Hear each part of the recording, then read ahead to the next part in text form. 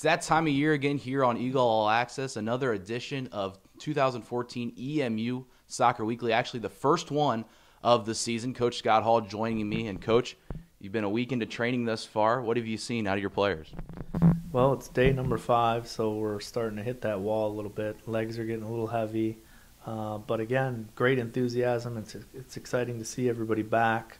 The freshmen have kind of uh, mucked their way in and are starting to figure out how things work. So it's exciting. I mean, it's great to be back. Great to have everyone around and getting back at it again. And speaking of being back, before that, you actually had a rare opportunity to have Real Madrid come practice on Scicluna Field. Some of the players were able to come out here and help with that practice. Just talk a little bit about what that means to you and your program. It's hard to put into words, but again, it, it goes back to like the, the, I mean, obviously the best team in the world came and trained on Scicluna Field uh, just to see their intensity and um, the way they approach training, um, and then having not just the players but my staff, their kids. You know, my son was able to get some autographs, and just to see everyone's face and just to be in awe of some of the best players in the world training here was, uh, I mean, a, a once in a lifetime experience. So we, we really enjoyed that, and it's been a nice kind of kickoff to the season. Yeah, it's certainly incredible to be a part of that, and like you said, something the players and yourself, your kids, won't forget. Now, looking at this season, coming in the defending Mid American Conference regular season champions, of course, these trophies right behind us. You return MAC Offensive Player of the Year, Angela Voltaggio, the Co Defensive Player of the Year, and Emily Zyke. So, with all that returning, do you feel like you have a huge target on your back going into the season?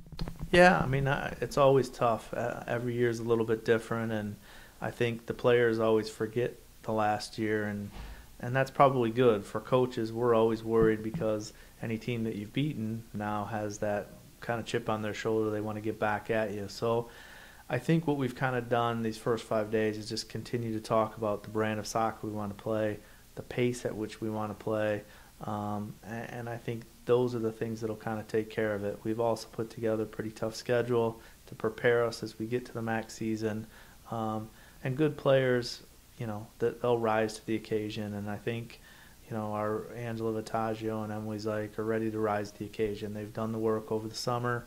They'll come back ready to go. So it's now just getting everyone on the same page and uh, keeping players healthy and putting them in the right spots and get things going. Let's talk about that non-conference schedule. Last year it was a really tough schedule as well, and ended up paying off.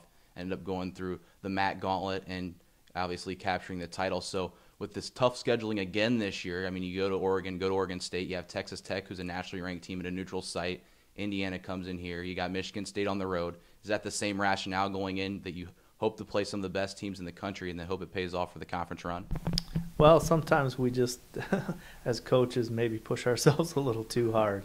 Um, but I, I think it is. I mean, I think this team in general really gets up for those games where um, they're they're playing good competition. So we wanted to challenge them. We wanted to kind of work out of our comfort zone this year again and kind of see what we could get to, um, which I, I, think will pay off as we get to the MAC and we get into the run there.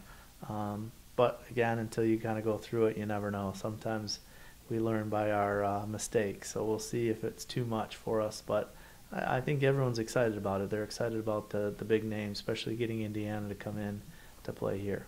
And now, before that, you do have those two exhibition contests at home at Scicluna Field. You got Detroit this Thursday, August 14th, and then Butler on Saturday, August 16th. So last year you only had one exhibition match. This year you have two. What's the rationale behind that, and what are your thoughts going to these exhibition matches, and what do you expect to see? Well, I think we moved them up a little bit earlier too. So I think um, as we do all this training, it's nice to get a game in to start putting your, you know, your style together, how you're going to play, who's going to play where um, putting all the puzzle pieces together, it's a little easier to see against somebody else. When you're just here kicking each other, um, it, it's it's harder to kind of put those pieces together along with your set pieces and all that. It's always good to see someone who doesn't really know what you're throwing at them. So I think that was the rationale, especially having so many good teams that were playing coming down the pipeline. I, I think that was kind of the balance that we were looking for. And speaking of what you have last season, you had four season-ending injuries, which proved to be. I mean, you ended up winning the conference title, but still some big losses. You had some starters in there, but now they're back this year. What have you seen out of them in their recovery process? Well, it's it's exciting. You know, last year you always say what if, but then seeing them back this year, it's exciting. I mean, Chelsea Oden, Haley Kansman, uh, Jenna Odell, Ellie Tiller, all great energy kids, all players that can make a difference within a game. Um, so really, we we've lost you know four kind of senior starters, and you get four back. So um, I think for us that puts us in a good spot to kind of fill some spots. Uh, maybe not exactly like the players that we lost, but a different and, and good. Um, so all those players are back. They're healthy. They're training well. Uh, so it's exciting. It's it's good to get them back, and again, it just gives us a different look. Yeah, you lost that group of seniors, but like you said, a strong, solid core returning. Also bringing in six freshmen, and obviously it's a big jump going from high school and club soccer to playing Division One college soccer. How they adapted to the change in the environment.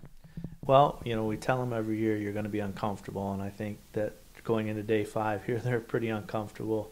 Uh, but the six of them have been good. They've stayed with the training sessions. I mean, they are they're going to be six players that help us for four years. Um, so we're excited. Again, the hard part for them is being patient because we this there's a lot of good players here, um, and it's tough to get into this lineup. It's it's it's very competitive, but they've kind of lived through it. They're taking it. They they they're enjoying themselves. Uh, so it, will be a good group to see over the next three four years here and the things that they can accomplish. And we'll leave you on this. Final thoughts for this season preview. What are your expectations going into the season? Why should Eagle fans come out and support this team at Scicluna Field? Well, as always, I think it's an exciting brand of soccer. I mean, we look to try to score goals. We push a lot of players forward. Um, you know, we've got some players that are really fun to watch. They're exciting. They, you know, our goalkeeping, our goal scorers, they're fun to watch. Um, and I, I think for us, we're, we have high expectations to finish in the top of the of the MAC and push ourselves into playoffs and try to get a little bit further and really shoot to see if we can get to that NCAA tournament. The Eagles' quest begins for the Mid American Conference Championship later on in the season, but they'll start out with exhibition play Thursday, August 14th, and then continue Saturday, August 16th as well. Both those contests at Scicluna Field. We hope to see you out there. Coach Scott Hall, thanks again for joining us on this EMU soccer preview here on Eagle All Access. Thanks, Adam.